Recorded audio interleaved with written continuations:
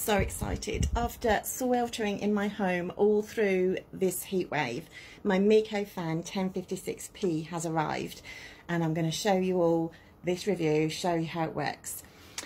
So, I was a little bit confused when I bought it, but this is how it works. Basically, it is a fan that reaches everyone in the room. It's called an air circulator, and as you can see, it does different motions to circulate the air around the room. So it makes everyone in the room feel cooler. It doesn't actually lower the temperature, but you do feel cooler, and I do feel cooler in the room that it is in.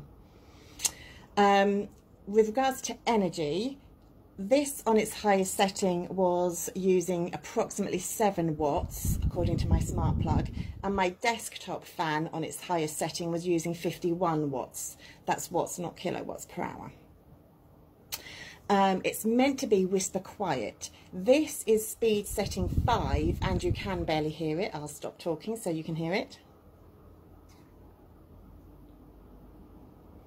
It has 12 speed settings.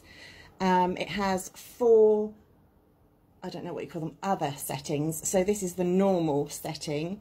It has an eco setting and a sleep setting and another setting that I can't remember. Oh, um, a wind setting, so the, a wind setting. Um, what else can I tell you? It has a timer function, so you can time it to come on and time it to come off. And it also has this fantastic remote, which sticks on the front. I'll show you that in a minute. But first, I'm going to turn the speed up to 12. So it is louder on the 12.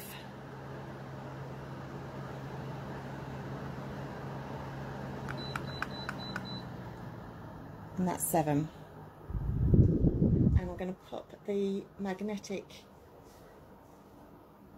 remote, which I love because it means I can just flick it around when I'm in bed, on there. And I have to say, I'm really pleased with it. It's a thumbs up from me.